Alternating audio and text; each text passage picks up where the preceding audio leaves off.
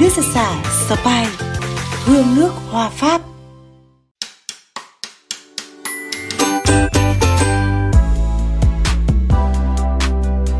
Cốc này là khoảng 59 bạt.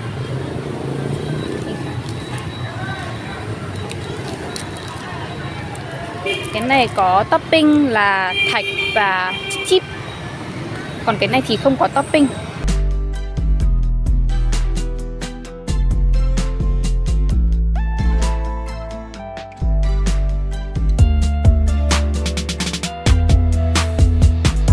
Tôi nghĩ là cốc này ngon Cốc hơn. này ngon hơn à? Trà Thái phải là màu đỏ đúng không ạ? À. Còn trà màu xanh này thì em thấy ở bên Việt Nam nhiều người thích uống trà màu xanh như thế này Đó thì mọi người không biết trà Thái màu đỏ mới là trà Thái đúng Chị thấy cái này có vị như nào ạ?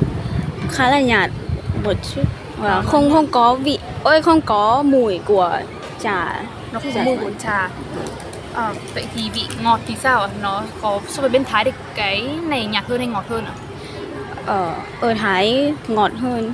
Ở Thái ngọt hơn. Ngọt hơn. Ở Thái cũng vị như thế Vị như, như này. này. Các bạn khi mua ở tiệm trà thì cái này nó ghi là trà Thái Bangkok. Không như vị như Vị như thế này. Giống bên Thái hơn à? giống bên Thái hơn. À. À, không không giống không giống như ở Thái. Không giống ở Thái ạ. Cá chép chip này chị thấy nó có hợp với cả cái nước trà không? không không hợp. Chân châu hợp hơn Tân Châu hợp hơn ạ?